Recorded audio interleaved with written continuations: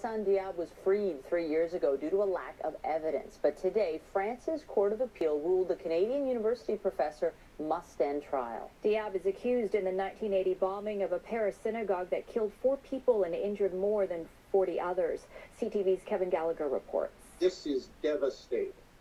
Um, this has hung over a family's head. There's a husband, a wife, two little children. A potential trial is likely years away as Diab's legal team appealed the decision to France's Supreme Court.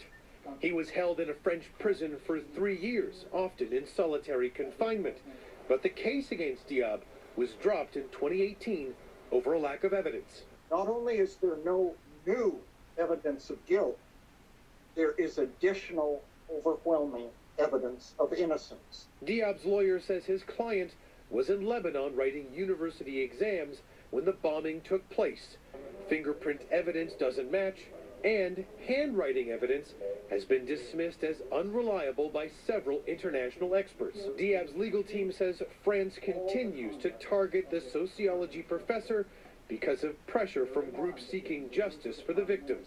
It's a suspect at all costs, trial at all costs, um, and, and, and this is extremely disappointing again. Last year, Diab filed a lawsuit against the Canadian government claiming negligence that violated his rights and resulted in his extradition to France. Now, his lawyers want Canada to request an end to the prosecution against him. Kevin Gallagher, CTV News, Ottawa.